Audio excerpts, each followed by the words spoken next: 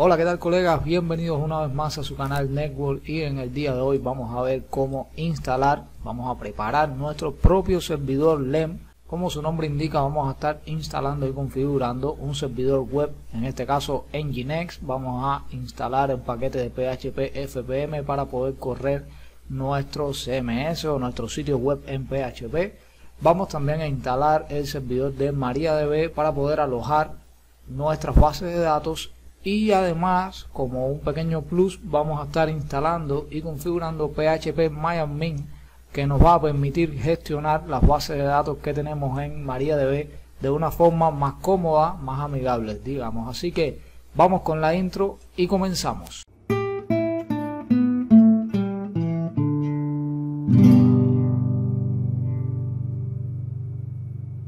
Bueno, ya estamos de vuelta, ahí tenemos por acá la entrada en el blog, o sea, ya yo les traje una entrada, algunos pueden haberla eh, estado revisando ya. Y vamos como siempre a basarnos en esta entrada que yo eh, les traje para configurar nuestro servidor. Ya por aquí yo estoy autenticado en el servidor con el usuario network. Esto es un servidor Ubuntu 20.04, está instalado y configurado, o sea, está funcionando con lo más mínimo. Vamos a ver los datos del servidor, su nombre es SRV y su dirección IP es la 10.10.20.4, ya podemos verlo por acá arriba. Y como siempre, el inicio de esta entrada va a ser tratando de actualizar nuestro sistema. En este caso ya yo lo actualicé para eh, ahorrar tiempo. Pero bueno quizás hay alguna actualización nueva vamos a ver. Bien perfecto. Vamos entonces a lanzar el upgrade para ver si existe alguna actualización. No tenemos nada todo está ok. Entonces el primer paso luego de haber eh, realizado este, esta actualización o sea comprobar que no tenemos actualizaciones disponibles vamos entonces ya a instalar nuestro servidor web, en este caso Nginx. Lanzamos el apt install Nginx, perfecto, damos en yes para que comience a descargar y a instalar nuestro paquete. Bien, una vez instalado nuestro servidor web Nginx, podemos pasar a comprobar que está funcionando 10.10.20.4 en este caso y vean que tenemos acá la página de bienvenida, es decir, Welcome to Nginx, que es la página de bienvenida de nuestro servidor web, quiere decir que está funcionando. Si por el contrario a ustedes no les sale, pues deberían revisar tema firewall o tema que el servicio esté corriendo, pero normalmente por defecto en Ubuntu 20.04, una vez instalado el paquete, este inicia solo. Vamos ahora a instalar el servidor de base de datos MariaDB, para eso vamos a ejecutar el siguiente comando Damos en Yes para que comience a descargar y a instalar el nuevo paquete. Bien, una vez instalado ya nuestro servidor de base de datos MariaDB, corremos el siguiente comando que lo que va a hacer es el aprovisionamiento inicial del servidor. Ejecutamos, ok, por el momento como es instalación limpia no tenemos contraseña de root definida, si quedamos enter y ahora nos pregunta si deseamos establecer una nueva contraseña para root, dejamos en yes y la escribimos. Escribimos una contraseña, por supuesto que sea lo suficientemente segura para proteger nuestro usuario de root de nuestro servidor eh, MariaDB. Lo siguiente lo podemos dejar por defecto todo lo demás, no tenemos que tocar por aquí nada más. Bien, acá nos da las gracias por usar eh, MariaDB. Y ahora, una vez ya instalado nuestro servidor eh, MariaDB, vamos a ejecutar el siguiente comando para instalar nuestro PHP FPM. Ejecutamos igualmente damos en yes y esperamos a que termine de descargar e instalar el paquete. El comando anterior que acabamos de ejecutar también nos instala en paquetes de Apache, o sea que es otro servidor web que ustedes conocen y de hecho lo intenta correr, lo intenta echar a andar pero este da error por supuesto bueno ya tenemos funcionando Nginx que es lo que vamos a trabajar. Así que entonces ejecutamos el siguiente comando que yo les traigo por acá para quitar el servidor web Apache. Damos en yes y esto va a remover esos paquetes los cuales no lo vamos a utilizar. Bien los siguientes comandos para comprobar que el paquete de PHP FPM está corriendo. Esto lo ejecuto para eh, de que esté funcionando ya que este comando de acá puede hacer que caiga nuestro eh, paquete de PHP así que también ejecutamos eh, este comando para activarlo cosa que cuando inicie nuestro sistema eh, el paquete también arranque. O sea cerciorarnos de que siempre funcione para que no vaya a haber problemas. Ahora vamos al archivo de configuración de PHP para establecer dónde es que va a estar escuchando. O sea vamos a hacer la línea listen acá la tenemos y nos cercioramos de que esté eh, utilizando el SOC ok así es como vamos a estar trabajando nuestro módulo de PHP si está como se muestra no tenemos que tocar nada. Ahora vamos a editar nuestro archivo de configuración por defecto de Nginx. En estos momentos nosotros no tenemos ningún sitio web en nuestro en nuestro servidor Nginx. No o sea solamente está la página por defecto. Pero vamos a editar acá para seleccionarnos o para configurar eh, que se ejecute, o sea, que utilice el módulo de PHP. Para eso nos vamos hasta acá, hasta el bloque de Pass PHP y vamos a descomentar estas líneas. Yo se las dejo por aquí por el eh, por el blog y vamos a descomentar esta porque lo que vamos a utilizar es el SOC y por último vamos a eh, descomentar esta que tenemos aquí que es el cierre del bloque eso no se les puede olvidar.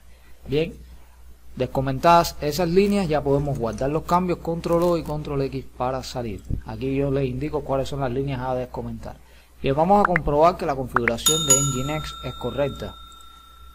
Ejecutamos y si el test eh, se corre satisfactoriamente quiere decir que la configuración está bien así que ahora podemos recargar el Nginx para que cargue los nuevos cambios que realizamos en él. Vamos a comprobar que efectivamente PHP eh, está funcionando en nuestro servidor y para eso vamos a ejecutar el siguiente comando que lo que va a hacer es crear un archivo info.php en el siguiente directorio bar www.html bien y su contenido va a ser el siguiente un pequeño código escrito en PHP que lo que va a hacer es hacer lectura de nuestro servidor eh, Nginx su módulo PHP concretamente. Ejecutamos entonces esto, ya ese archivo se creó. Ahora sí podemos ir a nuestro servidor web y decir info.php, que es el archivo que acabamos de crear, y vean cómo nos carga toda la información de nuestro servicio PHP, la versión 7.4.3 la que tenemos instalado y acá están todos los datos referentes al servidor PHP.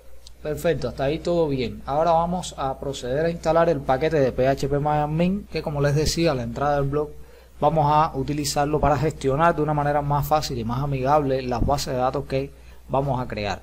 Entonces, ejecutando el siguiente comando, ya podemos instalar nuestro paquete PHP Decirles en lo que se instala el paquete, vamos acá en Yes, en lo que se instala el paquete, decirles que hasta este punto, antes de instalar este paquete, ya nuestro servidor LEMP está completamente funcional, o sea, ya podemos comenzar a alojar sitios web porque ya tenemos Nginx como servidor web, ya tenemos PHP FPM corriendo, así que ya podemos montar nuestros sitios escritos en PHP y además ya tenemos un servidor de base de datos MariaDB también corriendo en nuestro sistema, así que está todo listo para montar nuestra web.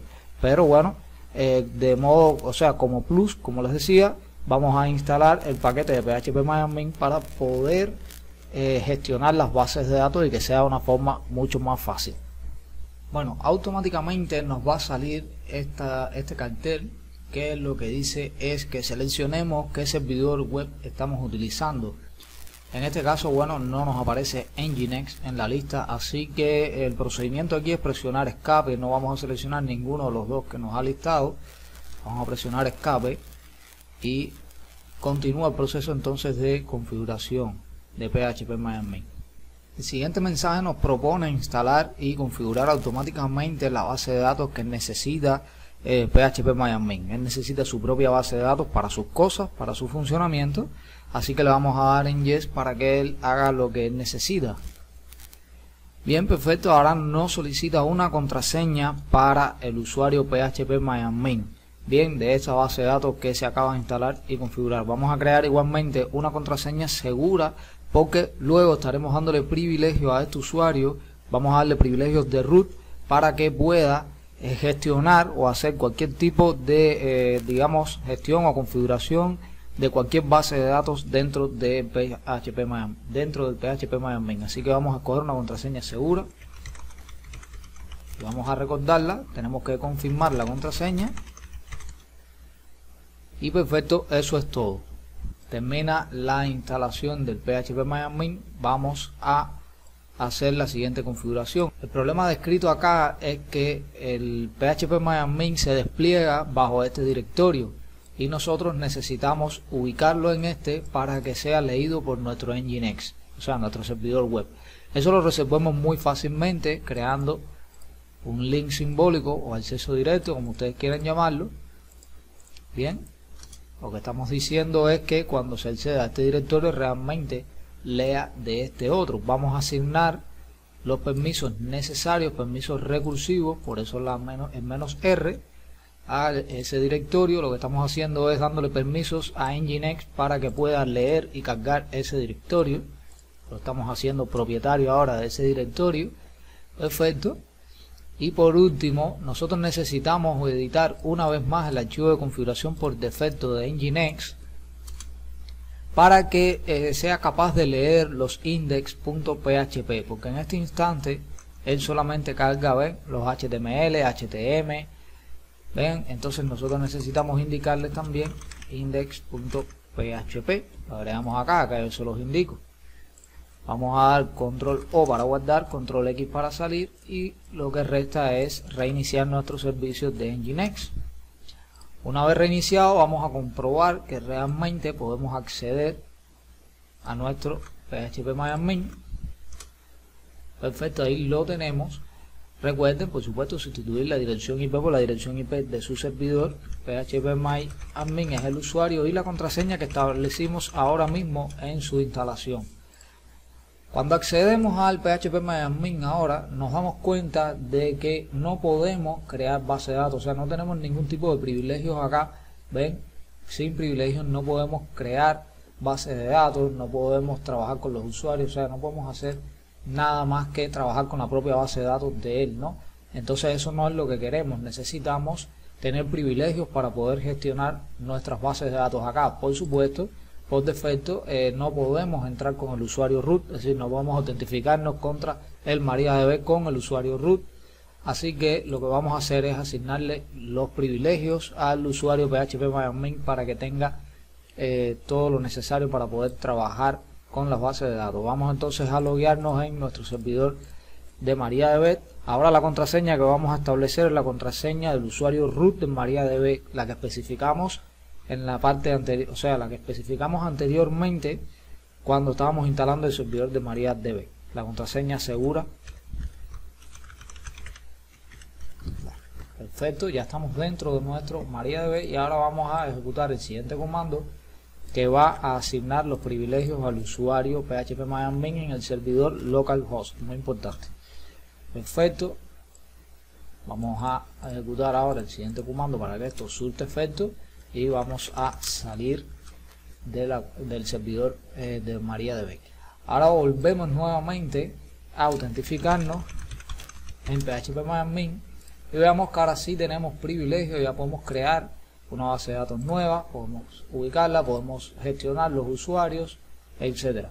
Bueno colegas, eso es todo por el video de hoy. Espero que les sirva, que les funcione, que les sea muy útil. Voy a dejarles acá en la descripción el link hacia la entrada en el blog para los usuarios que eh, bueno les interesa más tener la información ahí escrita. Y ya saben si les gustó el contenido por favor denle like compartan suscríbete que sé que no te has suscrito tú que me estás mirando y escuchando ahora mismo no te has suscrito al canal por favor suscríbete no te cuesta nada. Activa la campanita para que te lleguen todas las notificaciones de todo el contenido que vamos a ir subiendo. Chao chao nos vemos